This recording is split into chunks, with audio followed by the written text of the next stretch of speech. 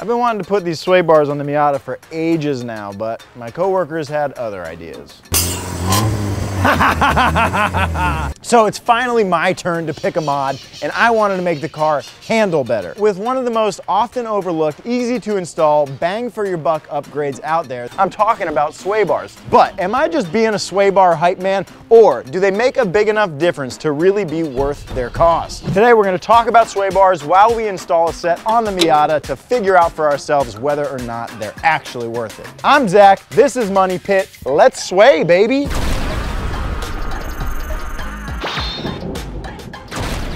All right, so it's no secret that I want to make this Miata handle as good as possible. And if you've been following along, you know that we've already done a set of coilovers on the car, which did huge things for the way this thing handles.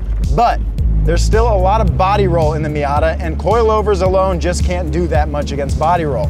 So today we're gonna combat body roll by installing a set of sway bars on the Miata.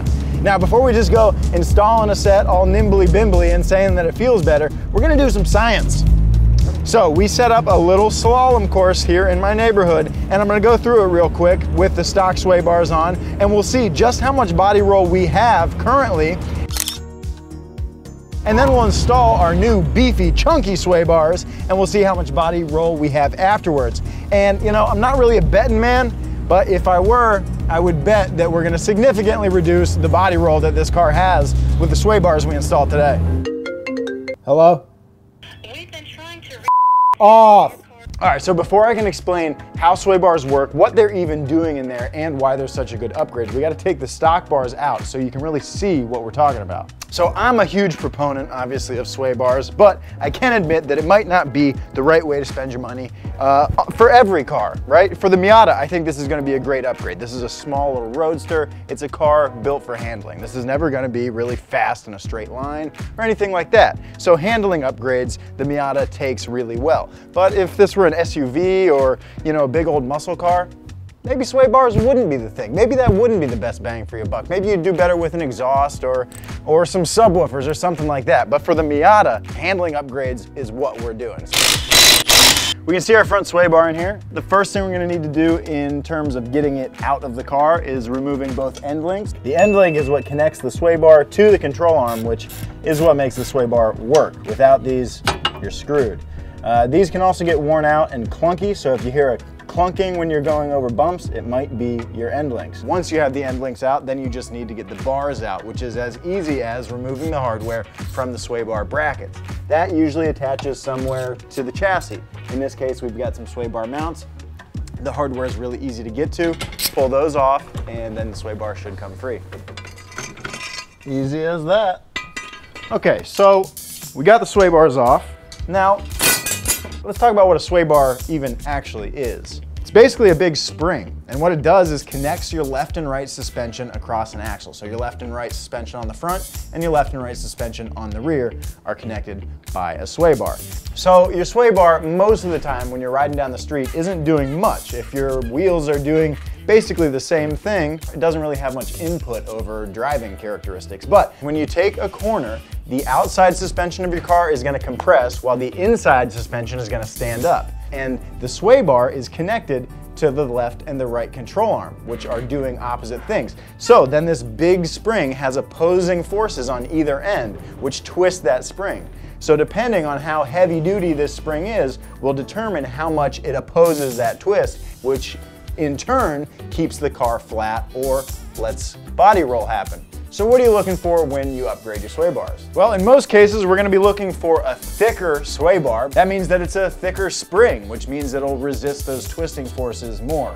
Another thing that we're looking for is adjustability. On our new sway bars, we've got multiple holes at the ends where we can connect our end links. So now we'll be able to tune our balance, our handling characteristics, front and rear based on these holes. All right, I think you guys got the gist of sway bars. Now let's put these beautiful blue bars into that car and see how it feels. First, I'm gonna put some grease inside these bushings. You don't need too much of it. Just get it in there, give it a nice coating, and then back on. The front bar is identical if it's this way or this way, so the front bar is okay. The rear bar, there is an upside down.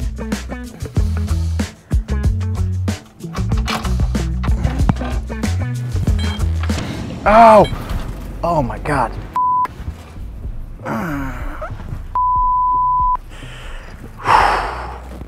What'd you do? Hit the on my knee, my knee. Now all our hardware is started. Now we're just gonna tighten it up about halfway and then we can put our braces in place. So this is the brace, it's very simple. Uh, basically the ends of the hard, uh, the sway bar hardware go into these two little holes and then it pushes up against the frame horn to try to solidify this mount a little bit. It's really simple, um, but it should do a good job.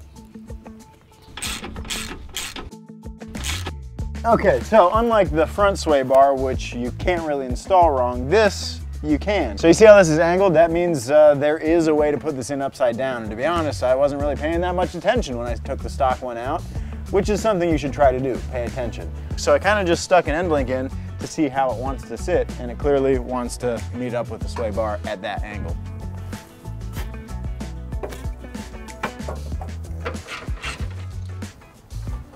Time to install the end links, and these are adjustable, so we're gonna have to pay attention to that. Currently, we have all of them adjusted to be approximately the same length as the stock end links. And the reason we do that is because the length of the end link determines where the sway bar is gonna ride. So where the sway bar rides determines what kind of stuff it could run into. And we know that it doesn't run into anything at the stock position. So that's where we're starting. Okay, so now we've got to make a choice. Now we're going to put it in the stiff position or the soft position. The hole closest to the bar is the stiffest setting. The further the mounting point away from the actual bar itself, the further this arm is, the softer the bar will act because the longer this arm is, the more leverage the control arm has to twist the, the sway bar itself.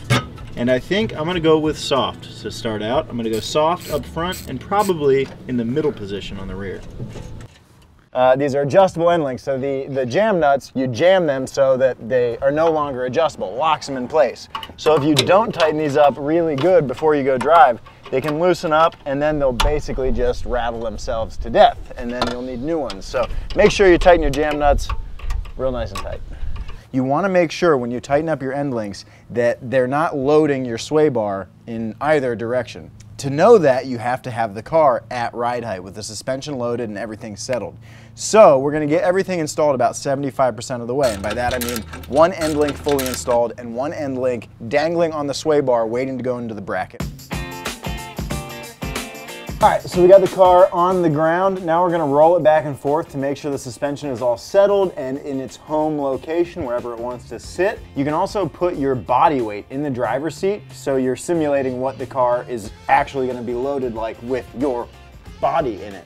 So I'm gonna get one of the other roommates to come out and sit in the driver's seat while I do this. So I'm gonna reach deep into the Miata and adjust this end link until I can get it to just kind of fall into into line with the hole in the sway bar. All right, now let's go get the rear in place and then we can let Russo get back to work and then we'll tighten everything up.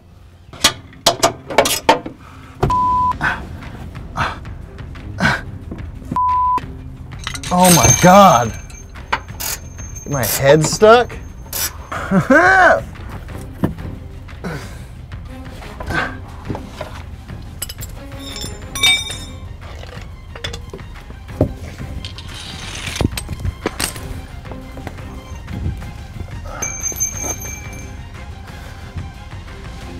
Let's see if it was worth it.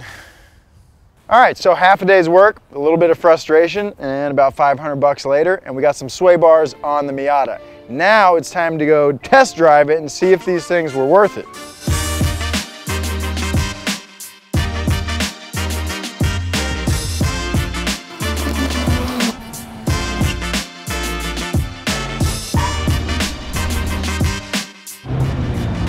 So right away, first off, first thing you notice is how much more responsive the front end is.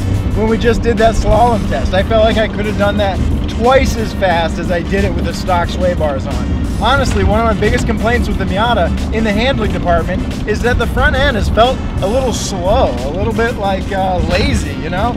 But now with these sway bars, oh my God, the weight transfers immediately as you turn the wheel and the front end just dives in wherever you want to go and we haven't even really driven yet. I can already feel how responsive it is. It's incredible. All right, so since the sway bars are gonna keep the car a lot flatter, that keeps the weight of the car a lot more centered over the car. So we don't have as much weight transfer to the outside. So we're gonna have a lot better grip. As soon as you turn the steering wheel, it loads up the sway bar on the outside and just immediately transfers to the inside suspension and you just feel you feel a, a, directness that was not there before. This is how the Miata should have felt from the factory. Now, sway bars are sweet because they don't affect your driving other than when you're in a performance handling situation, which is cool when you think about it. You can put gigantic sway bars on a car and just cruising straight down the street, you wouldn't know the difference. Well, I'd say we got our answer.